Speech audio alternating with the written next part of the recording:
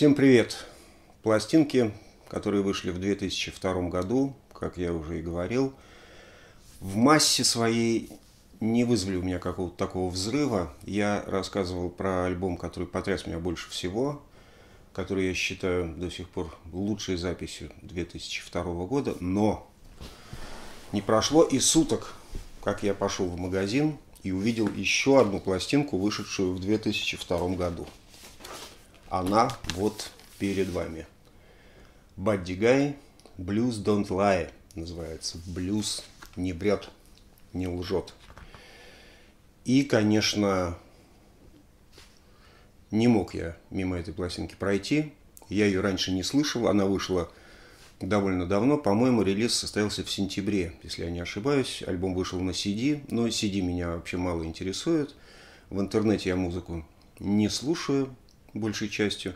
Очень редко, когда что-то нужно такое по ну, ради какого-то праздного интереса, что за группа такая, там, потыкать. Ну, вот эта вещь, конечно, Бадди Гай. 86 лет парню практически молодой еще человек для блюза. Вот такой, 86 лет, новый альбом. Интересно мне было, что же там такое случится с ним. 86 лет, вот он еще, вот на вкладочке какой. Прекрасный, прекрасный музыкант. Это видно по лицу даже, да? Ну, Пластинок Бадди Гая у меня много, я его музыку слушаю много лет, знаю довольно хорошо. И не ожидал никаких э, откровений, честно говоря. Ну, просто как артефакт. Думаю, ну, надо, как, как же можно без этого. 86 лет. 35-й, что ли, или 36-й альбом по счету Бадди Гая.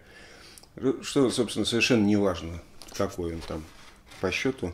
Но возраст э, вызывает уважение. И думаю, ну, наверное, что-нибудь такое будет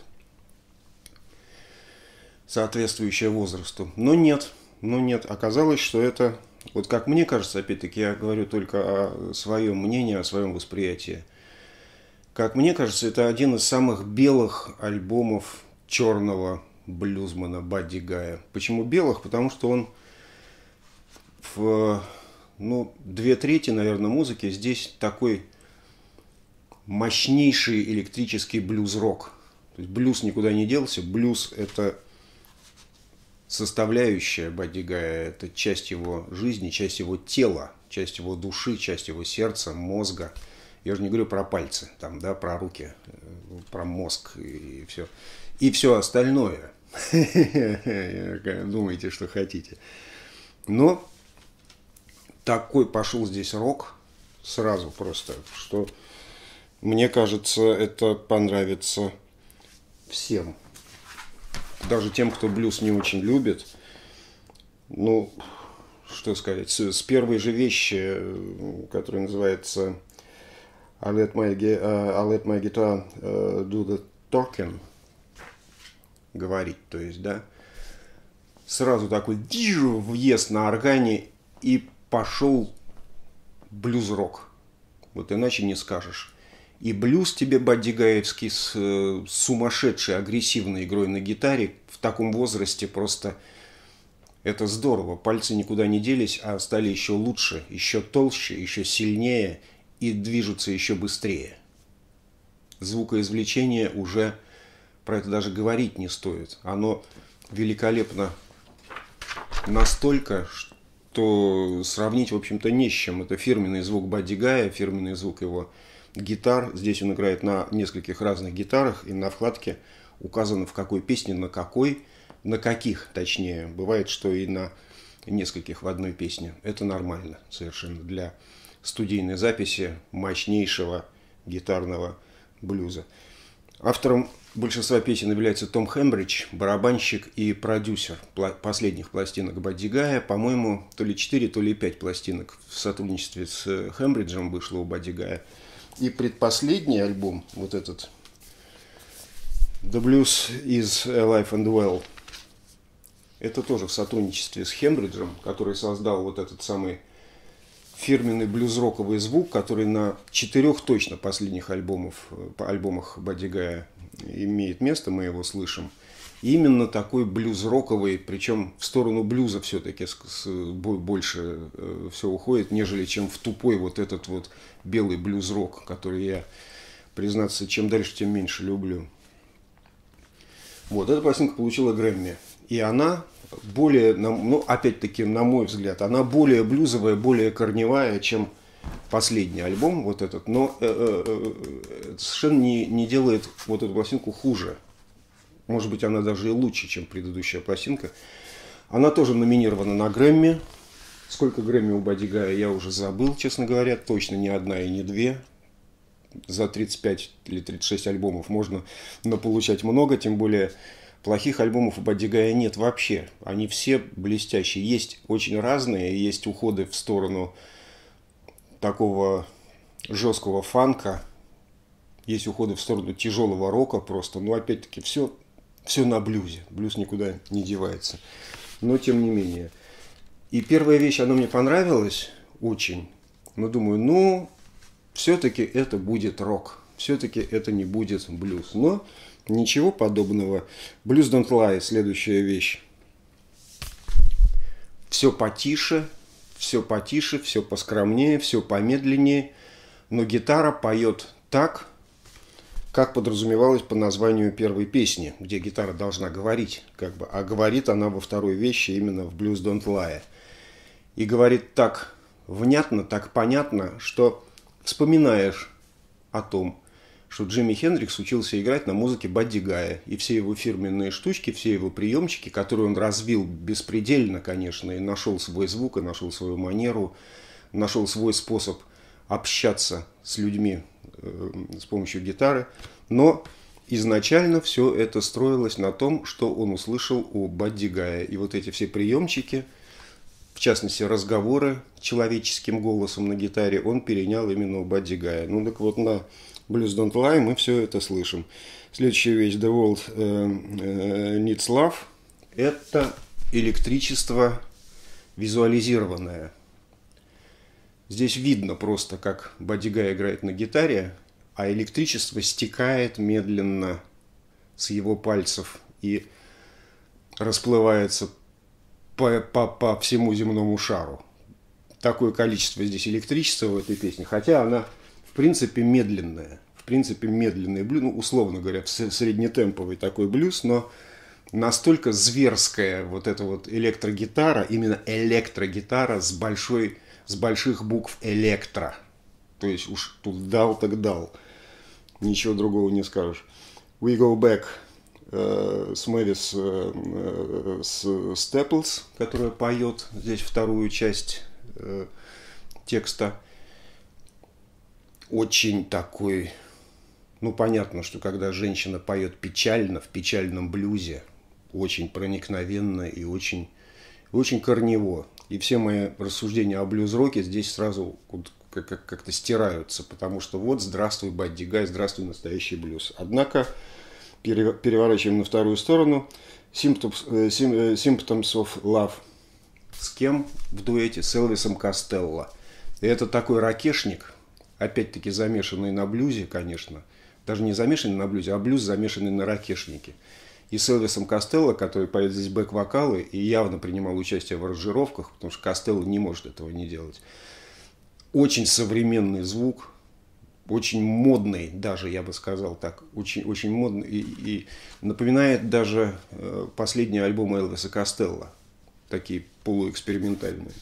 Очень странная вещь. Но на Follow the Money. Мы снова уходим в традицию, можно передохнуть, Снова традиция. «Здравствуй, блюз», «Will Enough Alone», то же самое, но зато «What's Wrong with That» вместе с Бобби Рашем.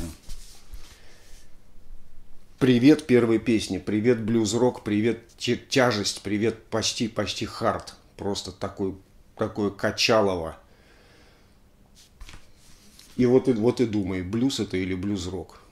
Так, через одну все это идет. Gunsmoke Blues на третьей стороне.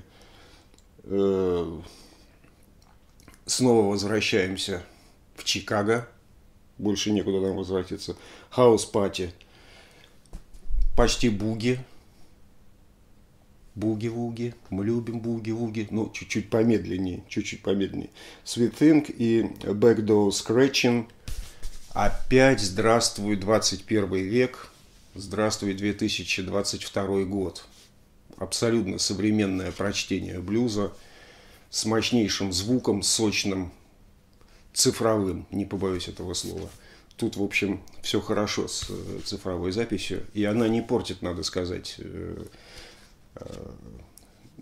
не умаляет живости, не умаляет воздуха, не умаляет дыхания, качания вот этого.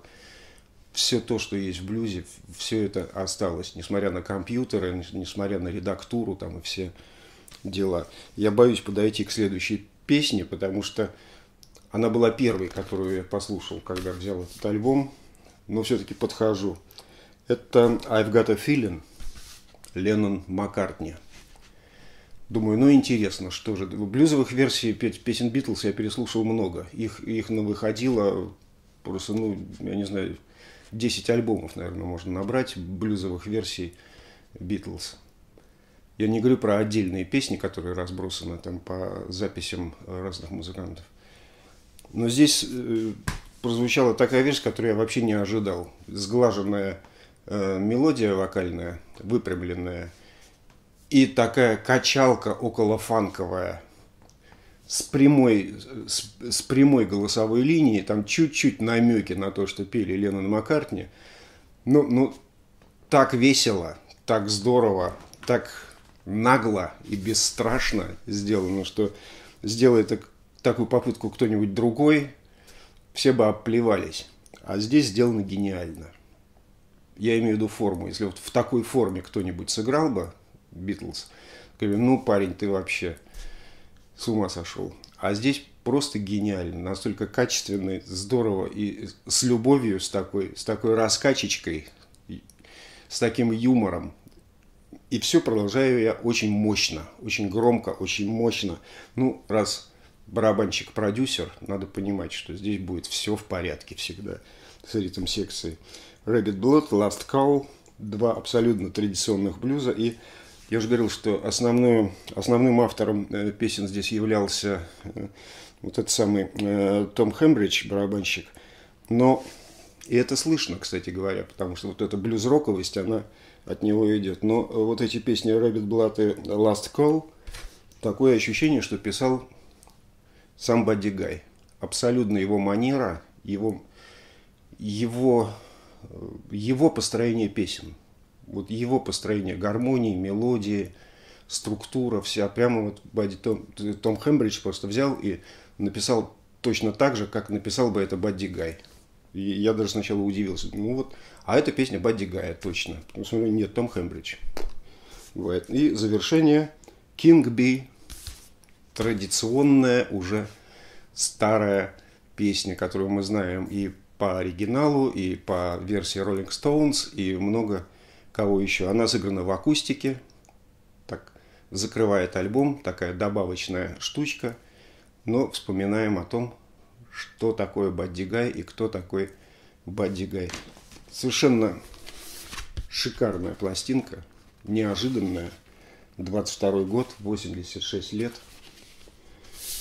Это, конечно, надо не просто иметь в виду, а надо иметь. Это часть истории, это часть нашей жизни – это часть мира, часть музыки, которая нас объединяет, которая не дает нам ссориться между собой, которая объединяет, я уже сказал, да, объединяет народы всего земного шара, потому что лучше музыки нет на свете ничего. Это сказал не я, это сказал Фрэнк Заппа в тексте одной из песен на альбоме «Джоз Гараж», которому мы, э, которому мы в скором времени – подойдем, поскольку Заппа – это тоже тот человек, который объединяет все народы мира. Хотя иногда кажется, что он разъединяет даже семьи, не то что народы мира, но на самом деле все не так, все гораздо лучше.